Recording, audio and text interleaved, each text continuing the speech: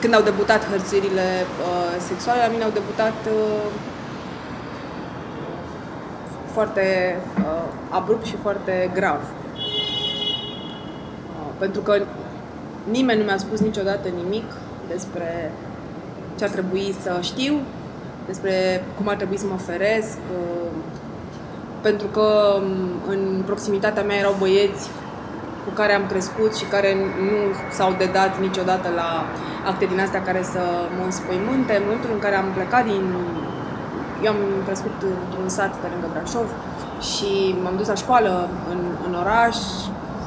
Lucrurile uh, cumva au degenerat foarte tare și din vina mea, pentru că neștiind, neavând niciun fel de educație în zona asta, n-am știut să mă și atunci, practic, am trecut printr-o tentativă de viol în clasa 7 și la 16 ani jumătate prin viol.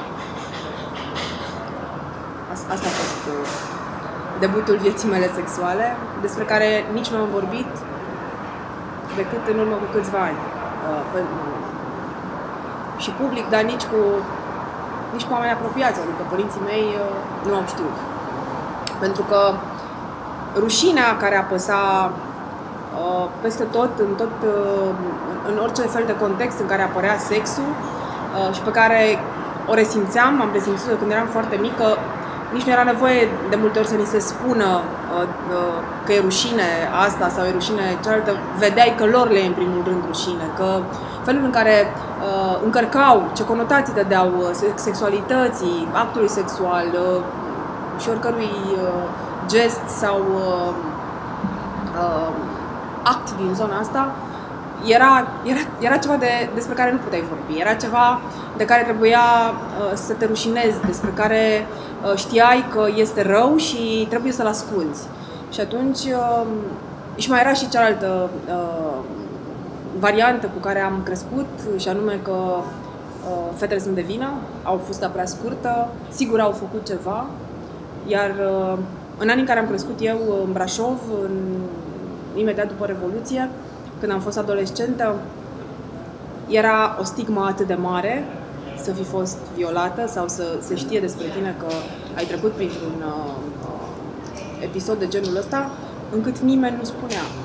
În generația mea, și mi-aduc aminte, pare SF în momentul ăsta, în generația mea au existat foarte multe fete care erau pur și simplu luate pe stradă, în mașini de uh, bandele de interlopi, de tot felul de băieți uh, șmecheri. Uh, uh, la noi erau uh, tot felul de tabere de genul ăsta. Erau valutiști, erau uh, băieții din Noua, erau băieții din uh, uh, Dârste, erau găște despre care se știa că sunt foarte periculoase, care erau mână-mână cu poliția. Uh, pe vremea aia, însuși șeful poliției Uh, era un proxenet despre care uh, se știa foarte bine că trăiește de pe urma prostituatelor pe care le avea în Poiana Brașov și atunci uh, nu exista practic nicio scăpare.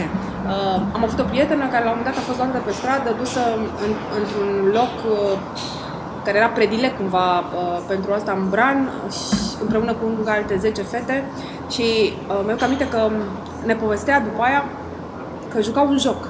Le luau de pe stradă le duceau și le dau drumul prin curte să vadă cum fug. Și după aceea alergau după ele, le prindeau, unele se urcau pe poartă, încercau să, încercau să fugă și după aceea le violau. Uh, la mine s-a întâmplat într-un cerc mai apropiat, adică niște, niște băieți uh, care veneau la mine în liceu și despre care ne știam cu toții că sunt periculoși și că nu sunt frecventabili. Uh, însă, așa cum păzeau și fetele toate pe stradă. Nu, nu ne-am dus nicăieri să spunem nimic despre asta. Am reprimat cât am putut uh, amintirea asta. Am uh, vorbit uh, cu două, trei prietene care puteau să ne înțeleagă și am dus mai departe treaba asta până am ajuns în, să, să lucrez în terapie pe, pe toate abuzurile astea sexuale ca să pot să mă vindec și să pot să vorbesc uh, despre asta în mod asumat și încercând să trag cumva un semnal de alarmă, că nu e vina noastră că am pățit lucrurile astea și că uh, atunci când, când ți se întâmplă, în zilele noastre, nu, mai, nu, nu cred că mai există stigma care exista atunci. Să fii violată însemna pe vremea mea să fii curvă. Era atât de simplu. Ai fost violată? Sigur era ceva în regulă cu tine, sigur era o curvă. Nimeni nu voia să meargă cu eticheta curvă, oricum o duceam în spate, indiferent ce făceam, dar măcar nu era atât de, de grosolană, de, de, de gravă, uh, ca în cazul unui viol. Adică erai curvă și dacă te plăcea un băiat și dacă nu te plăcea, uh, erai curvă și dacă umblai cu fusă scurtă și dacă umblai cu pantaloni mai strâmți, erai curvă indiferent de ce făceai, sfârșeai prin a fi, prin a fi curvă. Uh, dar să, să fi fost violată și să vorbească toată lumea despre asta, deja era insuportabil. Și atunci nu spuneai nimic. Uh, eu personal am vrut să mă sinucid. Uh, imediat după ce s-a întâmplat uh, uh, lucrul ăsta, știu oameni, fete care au încercat să facă lucrul ăsta, să se sinucidă, dar niciuna dintre noi nu am spus. Cred că din perioada aia sunt foarte multe femei care în momentul ăsta sunt adulte și de vârsta mea sau pe acolo, care păstrează amintirea asta absolut îngrozitoare a unui viol despre care nu au vorbit niciodată nici cu părinților și nici cu alți oameni uh, care ar fi trebuit, nu cumva, să reprezinte autoritatea. O altă prietenă de-a mea, care a fost uh, prinsă în câmp și violată, uh, pentru că era cu o fată, uh, aproape că a fost violată din nou la secția de poliție. Pentru că au vrut polițiștii să-i arate ei ce înseamnă să fii lesbiană.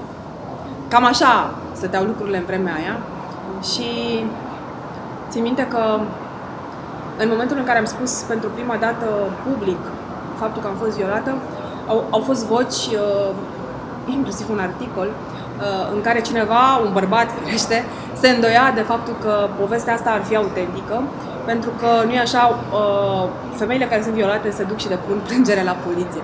Și e rizibil să, să te gândești așa și de asta spun că numai un bărbat uh, care a fost pus la adăpost de tot ce înseamnă hărțuire sexuală sau de abuz și așa poate să gândească, poate să gândească în felul ăla, având în vedere că suntem în 2018 și încă uh, sexualitatea e tabu, încă creștem în familii și ne creștem copiii în, în familii în care nu se vorbește despre asta, în care uh, împovărăm cu rușine tot ce ține de zona sexuală.